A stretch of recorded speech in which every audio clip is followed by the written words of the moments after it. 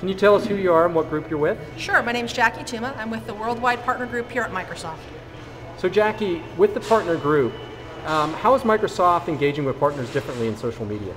Well, you know, I think we're engaging differently in some ways, but we're also engaging the same way because at the center of it all, it's relationships. It's about partners, it's about helping them grow their businesses, it's about helping them connect to customers and to grow their businesses with customers.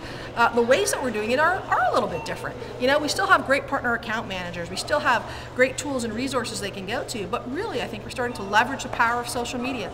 MS uh, Partners on Twitter, so if you go to twitter.com, whack MS Partner, we're on Facebook.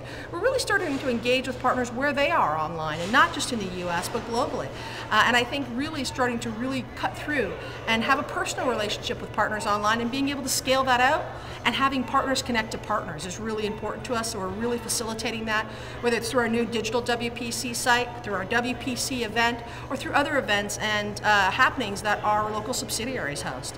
The second part of that is making sure they're connecting with customers. So we have great marketplaces to do that, from Solution Finder to Pinpoint uh, to Windows Marketplace. So I think we're continuing to focus on great relationships, providing partners value, but we're just helping us and helping them do it in great new ways.